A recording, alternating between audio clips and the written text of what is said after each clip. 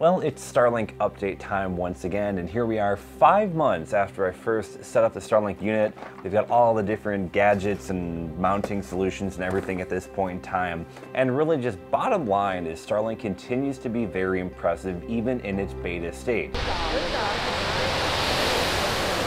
We've been launching a ton of satellites so far in 2021, and you can really tell that the service continues to dramatically improve. And in fact, we got an update from Starlink here within the last week or so. SpaceX telling us that they've now adjusted the firmware, the programming inside these satellites, our satellite units.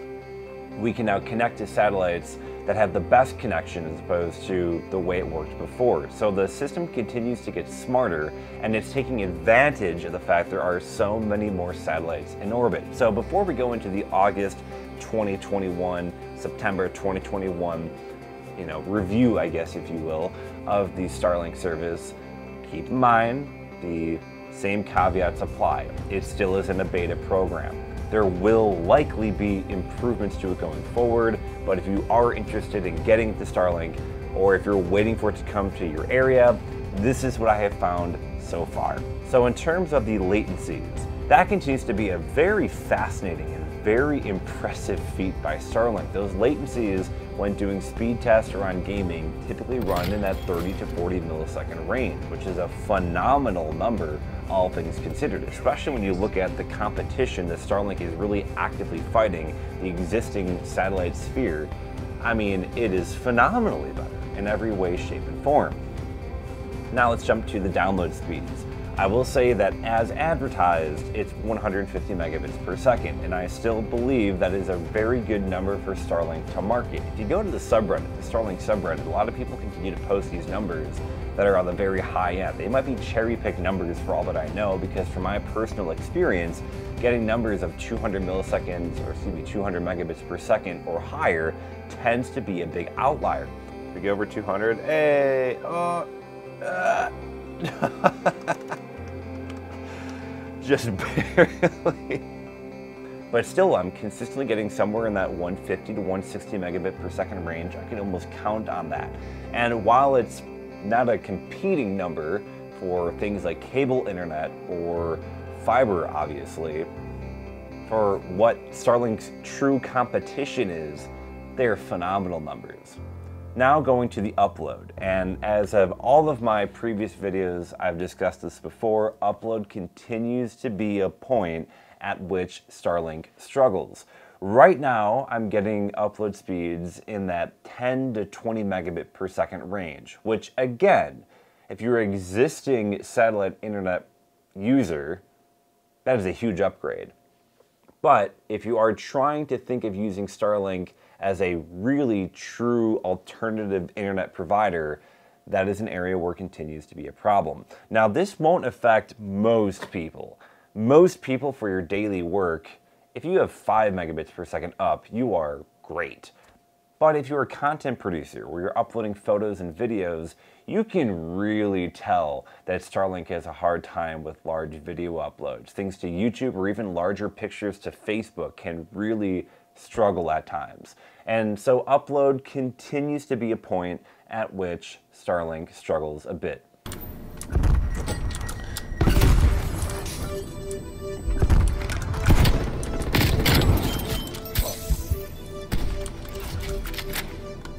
Wow. Nice. Gaming continues to be totally a thing you can do, which is something that I continue to be rather impressed by. Yes, there will continue to be hiccups here and there, at least in this beta phase. But I do believe we're getting to a point where you can really trust Starlink to compete in video games. I don't know if I still would at this point in time. I don't know if I'd game for money or for ranking notoriety.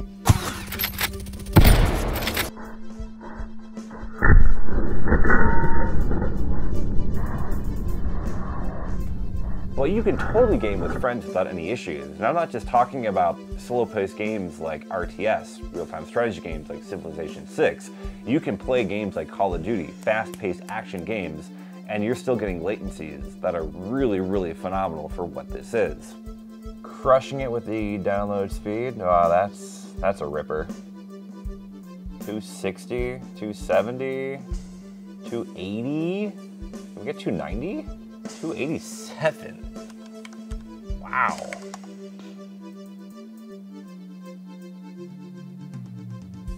Oh. And in a twist, it appears we've lost internet connection. Upload straight up zero. And there we are. You can kind of see it. We're in the middle of a test. We have downtime. It wasn't a lot, but the timing of it could not have been more ironic. Since March of 2021, the biggest improvement is now stability. Before, I would get dropouts several times throughout the day, and those dropouts could be 10 seconds long to upwards of a minute or longer. Now, those downtimes can usually be measured in seconds over an entire 24 to 12 hour period. Uh, the downtime has improved dramatically, and I'm seeing less and less of those drops, which is important for everything from video calls to even things like gaming. I did a fairly prolonged test, about a two hour long stretch of tests in the middle part of the day, looking to see how Starlink is handling internet service. And what you notice is that latency continues to be fairly streamlined. You really tend to see those numbers in that low 30 millisecond range. Unlike many major internet providers like your cable and fiber internet providers, those internets tend to be fairly consistent. You know what you're going to get for an upload and download as well as a latency pretty much at any given point. Starlink still tends to be pretty variable in that upload download speed. Latency has gotten a lot more consistent. You might get hiccups as it's jumping satellite to satellite, but the overarching latency continues to be pretty streamlined. The upload and download speeds that can vary rather wildly. When doing a test on a Monday in the middle part of the day, I have download speeds from as just over 100 megabits per second to as high as 230 to 240 megabits per second. And upload can vary even wildly from single digits to over 20 megabits per second. There's a lot of range in Starlink, and that continues to be one of its downfalls for now. Again, I stress it's in a beta, and this will probably continue to get better with time. So I guess it's final thoughts conclusion time. Do I recommend Starlink? And the answer to that question remains the same. If you are using existing satellite internet like Viasat or you're on a DSL line, to me, Starlink is a no brainer. There's no reason why you shouldn't be jumping onto this if you can and if it's available to you. If you live in a city, uh, this will continue to likely not be an option that you want to invest in, at least not yet. There have been some inclinations that Starlink may get a lot better, like a lot better, in the future, according to Elon Musk. I guess we shall see with that. Thank you for watching this video, everybody. I hope this was useful for you. I will continue to do these Starlink updates as we progress through time. It's a really exciting time that we're in. Starlink continues to expand, it continues to get better as well, and more and more people have access to Starlink, which is just super exciting. I'm gonna be doing a video here pretty soon. I'm gonna have two PCs right next to each other, and we're gonna be doing some competition on latency. Which one can do it better? My existing fiber internet, which continues to have a lot of dropouts, or SpaceX Starlink. Thanks for watching, everybody. We'll see you again at the next video.